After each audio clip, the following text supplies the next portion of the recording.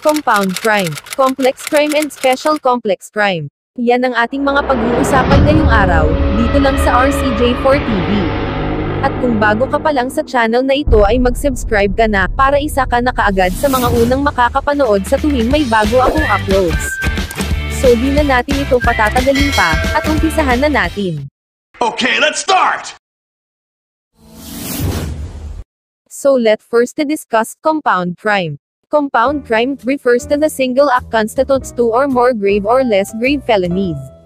Dito sa compound crime, ay malinaw na sinasabing, kapag ang isang act, ay nagresulta pa ng higit sa dalawang krimen, malubhaman or hindi ay may tuturing pa din itong isang uri ng compound crime. So para pare-pareho nating maunawaan mga kaibigan, ay magbibigay ako ng example. Halimbawa, may naglagay ng bomba sa isang facility ng isang mall, at nang sumabog ito ay maraming tao ang nasugatan at namatay. Well in regards to the scenario na ating binasa, ang single act na maituturing ay yung paglalagay ng bomba sa mall, at ang resulta ay maraming nasugatan at namatay dahil sa pagsabog.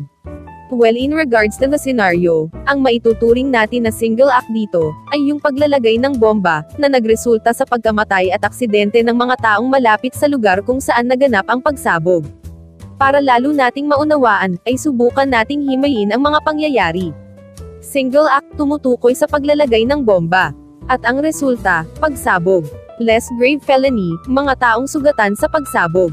Grave felony, mga taong namatay sa pagsabog. So kung mapapansin ninyo mga kaibigan, lahat ng nangyari, ay nagmula lamang sa isang act, at yun ay ang paglalagay ng bomba. Kung hindi pa din malinaw kaibigan, ay magbibigay pa ako ng isang halimbawa. Halimbawa, si X ay nagtapon ng granada, sa grupo ng mga nagre-rally sa kalsada, na nagresulta ng pagkamatay ng mga nagre-rally. At ang ilan sa mga taong malapit sa lugar ay sugatan din sa ginawang paghagis ni X ng granada. Ngayon, ay subukan natin muling himayin ang mga pangyayari. Single act, naghagis si X ng granada sa mga nagre-rally. At ang resulta, pagsabog. Felony na nagawa ni X.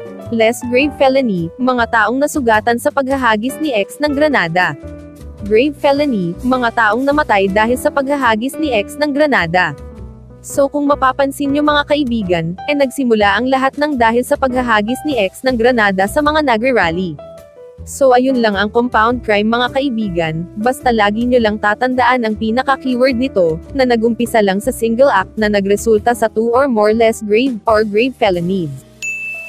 Next is the complex crime proper. Ano nga ba itong complex crime proper? Complex crime proper, said, if the offense is necessary for committing the other. Dito sa complex crime mga kaibigan, ay malinaw din na sinasabing, kapag ang isang offense or crime na ginawa, ay isang requirement din para magawa pa ang isang krimen. Remember the word necessary mga kaibigan. Ibig sabihin po nito ay may kinalaman yung unang act doon sa pangalawang act na ginawa ng isang perpetrator upang maisakatuparan niya ang kanyang gagawing krimen. So let's make a scenario. Ginaya ni X ang pirma ng kanyang boss para makapag-withdraw sa bangko ng malaking halaga ng pera, sa pamamagitan ng tseke. Kung mapapansin niyo mga kaibigan, sa senaryo na ito, ay malinaw na malinaw na magnanakaw si X ng pera sa kanyang boss. Ngayon, subukan nating himayin ang mga pangyayari. The intended crime is theft itself. Dahil ito talaga ang tunay na layunin ni X ang makapagnakaw ng pera sa kanyang boss. Then the necessary act is forgery ginaya ni X ang pirma ng kanyang boss sa pamamagitan ng tseke. So kung mapapansin nyo mga kaibigan, hindi makakapagnakaw si X ng pera kung hindi niya ginaya ang pirma ng kanyang boss. Kung medyo naguguluhan ka pa kaibigan, e eh magbibigay ako ulit ng isa pang halimbawa. Gawin lang natin itong mas simple. Halimbawa, in the crime of estafa through falsification of public documents. Ang pinakalayunin ng krimen ay estafa or minsan ay tinatawag nating swindling, at ang necessary act naman ay ang falsification of public documents. Meaning nangyari ang estafa sa pamamagitan ng falsification. In other words, falsification of public documents is necessary to commit the crime of estafa.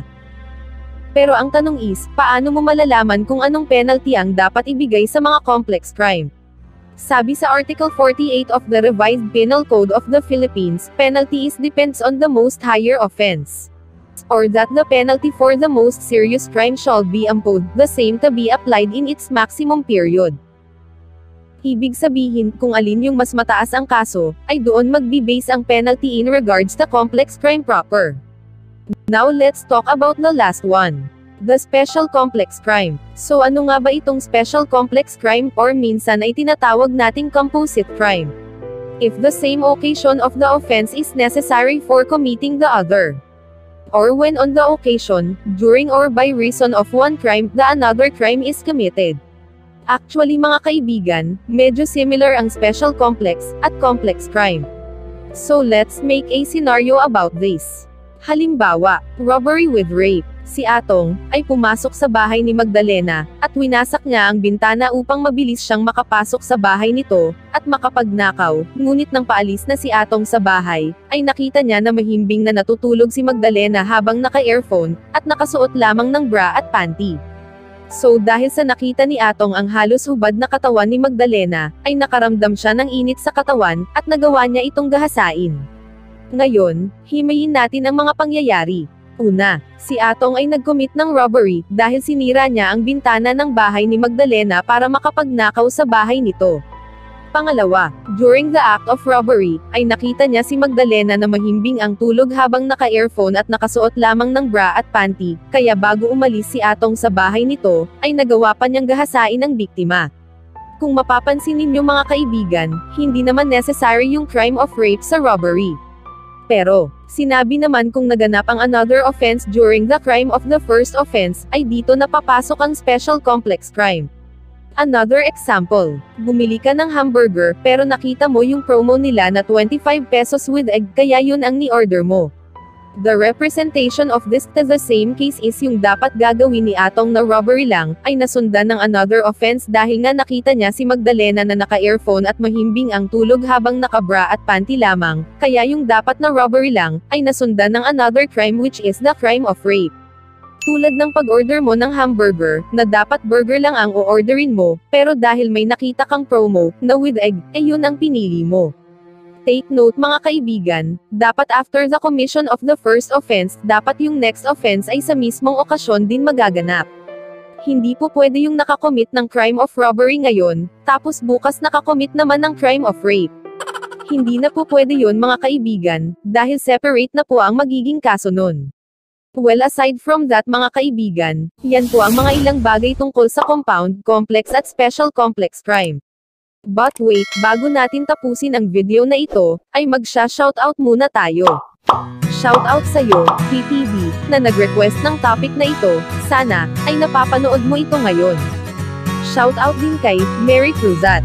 At shoutout din sa ating kaibigang si Micaela Campusano, at shoutout po sa lahat ng ating mga viewers dito sa ating maliit na channel, maraming maraming salamat po sa inyong lahat.